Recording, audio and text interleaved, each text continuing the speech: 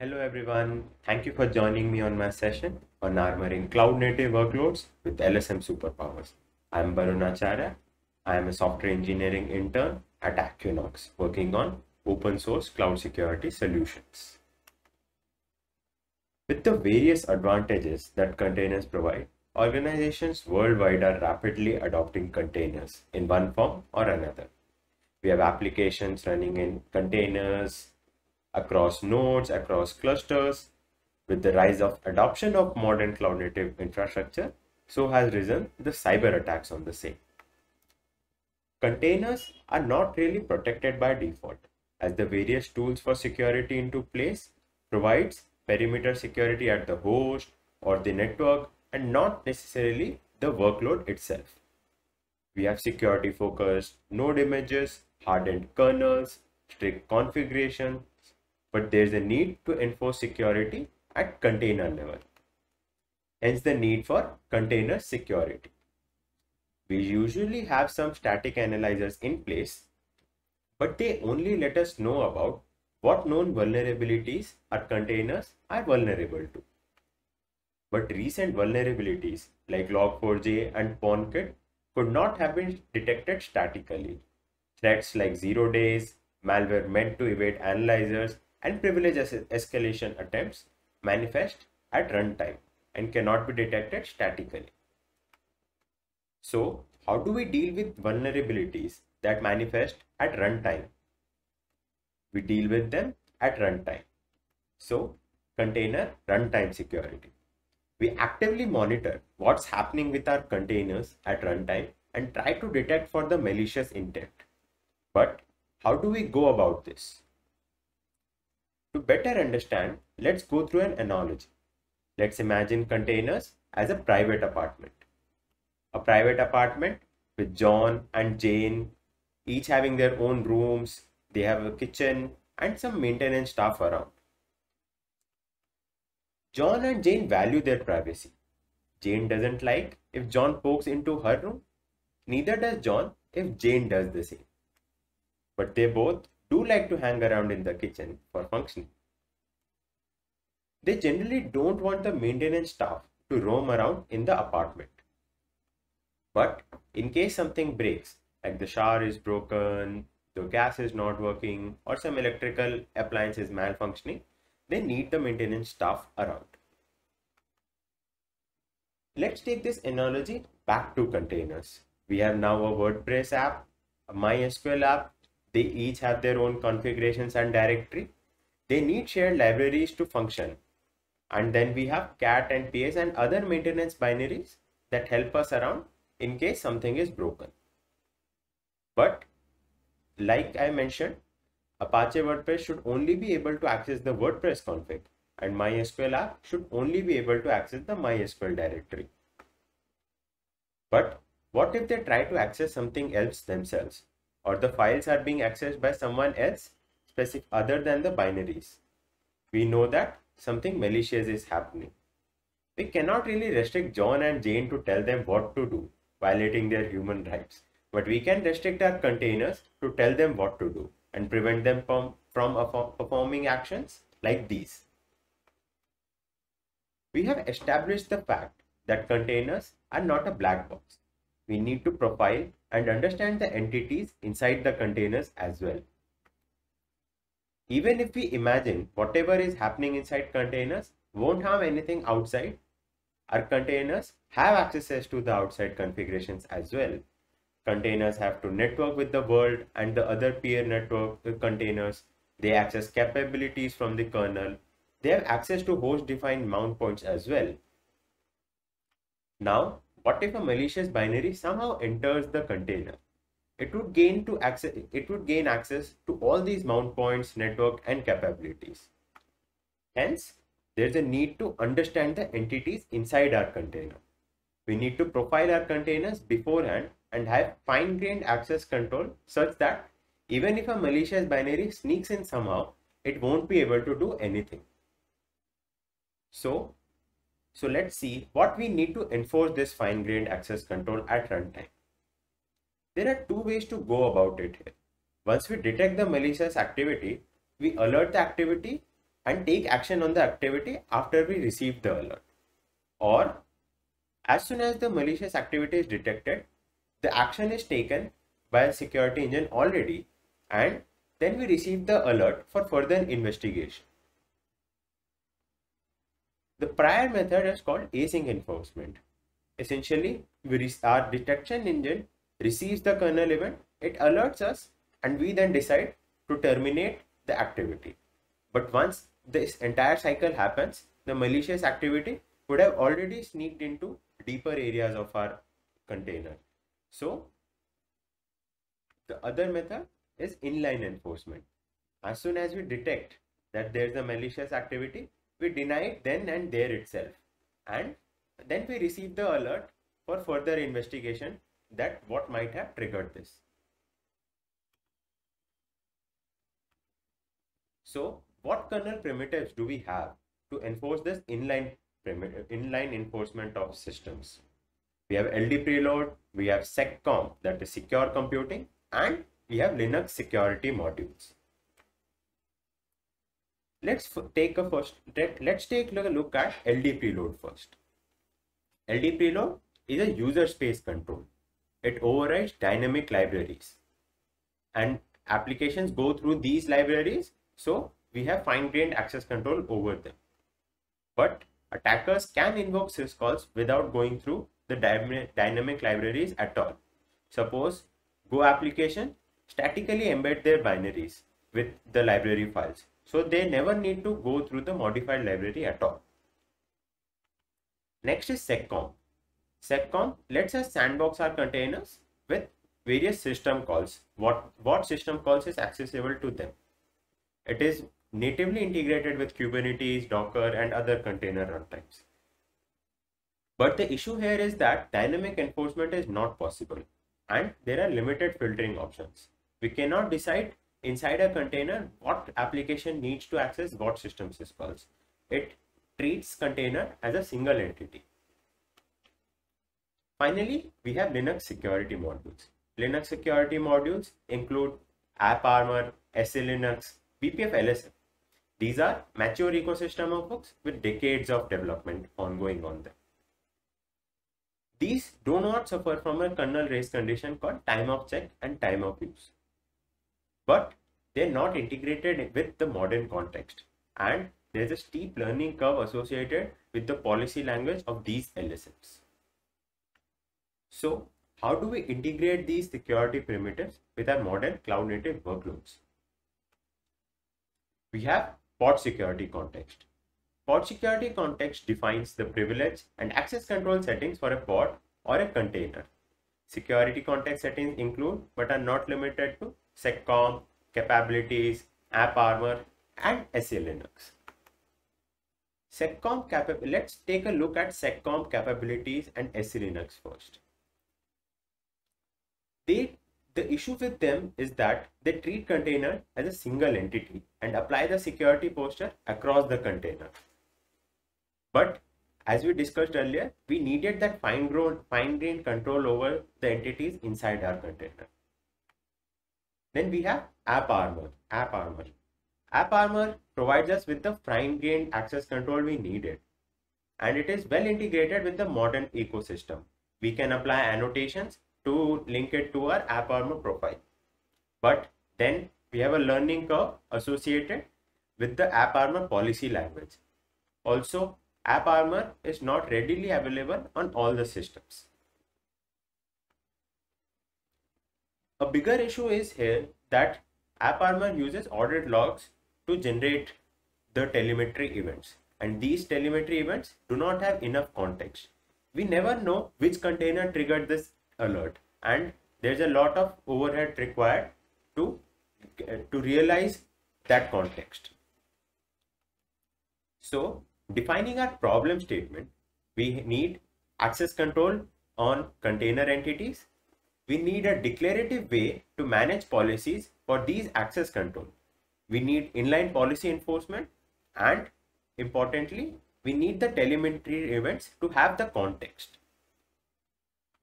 Introducing KubeArmor. KubeArmor is a cloud native runtime security enforcement system that restricts the behavior such as process execution, file accesses, and network operations of containers and nodes at the system level. Let's see how KubeArmor does this under the hood. We have KubeArmor listening to various probes in the kernel, listening to the events and acting as a detection engine. It sends out the log and telemetry to the users for them to analyze. KubeArmor then listens to the security policies that user sends and converts them into the kernel space rules to have inline access control inside containers. KubeArmor utilizes eBPF for observability. eBPF lets us extend kernel in a safe and performant way. It has established itself in the cloud native space and is a go-to solution for observability these days. And then KubeArmor utilizes LSMs for enforcement. When KubeArmor receives the policies, it converts them into AppArmor profiles, BPF LSM bytecode, or SELinux labels, which are enforced and are responsible for the decision making inside kernel. As we established earlier, LSMs are a proven technology for access control and paired with eBPF and leveraging information from container APIs, we have a holistic solution for container runtime security system. Let's check out KubeArmor in action. Some context about what we are going to see in the demo. We will have an Apache WordPress MySQL application which in which we will showcase how we can allow specific entities and deny the rest, how we can restrict our application access to certain kernel calls. So also Kubernetes auto mount service account tokens. Even if we or like set it or set auto mount to false, we still might need access to those tokens. So we will showcase how we can lock down access to a particular application inside our container to that service account token. And finally, we will showcase how we can secure our pod data, pod data including MySQL directory files or configuration files. So let's get on to the demo. We already have a Kubernetes cluster running with KubeArmor installed and our MySQL WordPress application installed as well. Let's see how KubeArmor is configured to run here.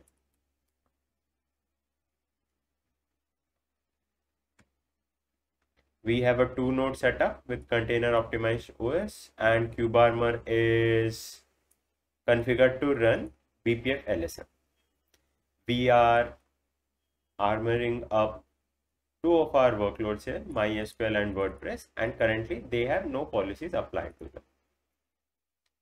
Let's start with applying some policies.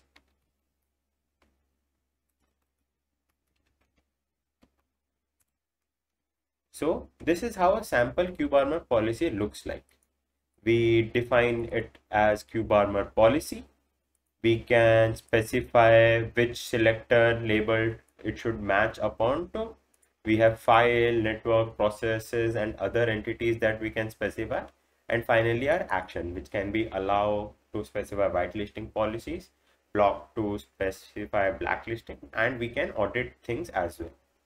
In this policy, we are trying to block access to anything inside the MySQL directory. Let's try applying this policy.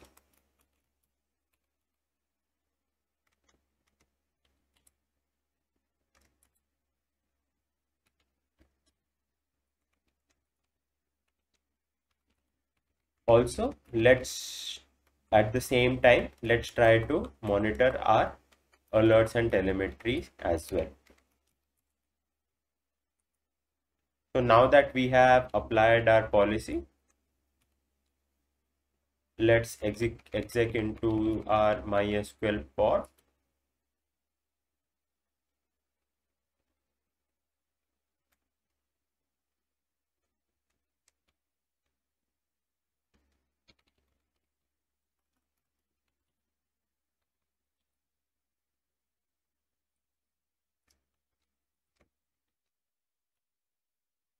as soon as we try to write a file to this directory the bash told us that permission is denied and a relevant telemetry event was generated for us.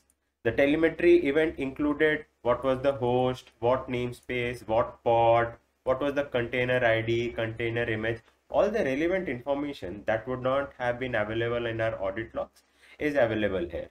And these, it also includes which was the policy that caused it to be denied and what was the file process name file name all the information is available to us which can be useful for debugging and uh, tracking down how and where this malicious intent happened. So similarly let's try to secure our service account tokens. We have this policy where we deny access to service account tokens in general but allow access to this specific service account token by cat. So now if we move into our WordPress application,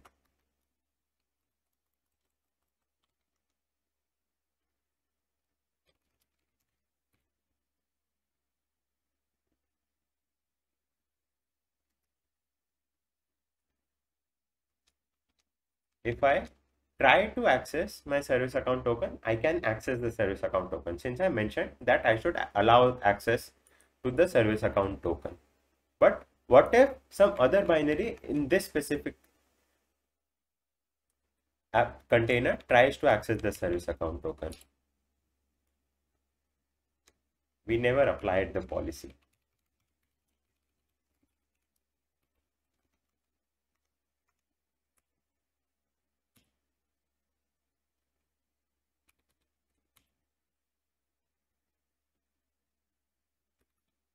So now cat can still access the service account token. But what if more tries to access the service account token? We see the permission was denied and a telemetry event was generated to us that more tried to access the service account token. Please look into it. One more thing I mentioned in our analogy is that maintenance tools. Ideally, maintenance tools shouldn't be allowed to execute in the production containers but we might still might need in uh, a developer environment to debug things. So let's try to restrict access to the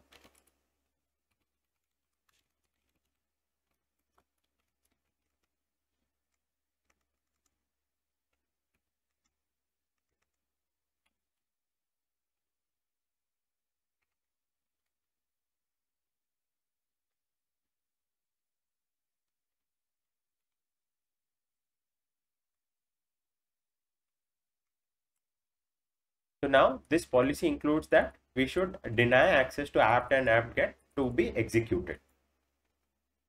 Now, if we try to execute either apt or apt-get, yep, they are denied and we have the telemetry data with us for that.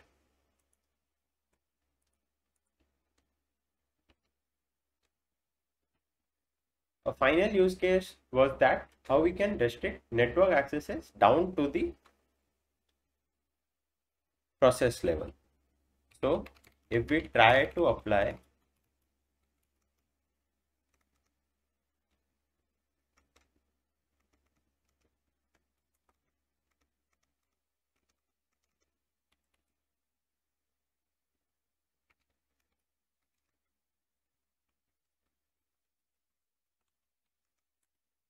This is an allow policy where we have mentioned what what processes can raw be accessed by, what processes can TCP be accessed by, and what processes by can be accessed can access UDP. This is generated after profiling our WordPress application. Now that we have applied this,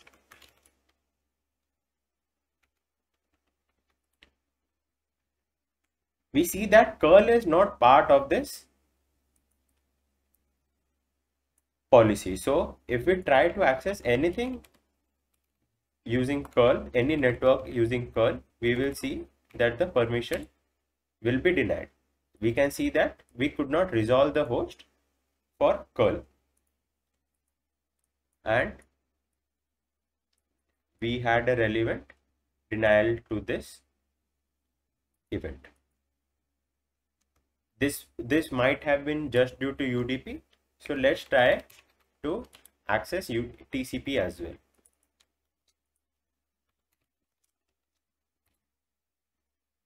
We couldn't connect to the server.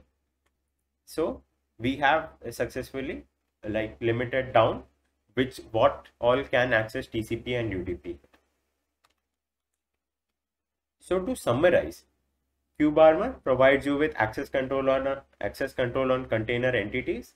We provide you with a declarative way to manage policies for access control. We have inline policy enforcement and we have telemetry data with context. Thank you. You can reach out to us on KubeArmor Slack. You can check out more details about KubeArmor on kubearmor.io. I am available on Twitter as daemon1024 and you can know more about me at barun.cc.